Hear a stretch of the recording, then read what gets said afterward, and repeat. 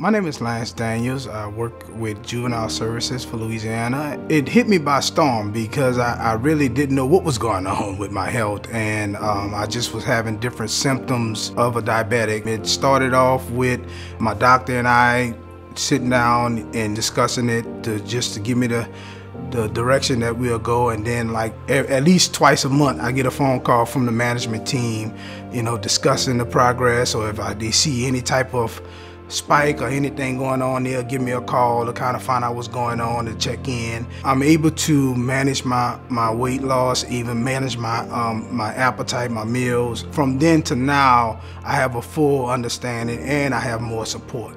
More people acknowledge communicating with me on a, on a daily versus having to wait to, or set an appointment with the doctor. I feel more confident now than when I first got diagnosed, yes. And I would tell anyone to join, give it a try. It, it only can help you do better, you know, and help you help motivate you.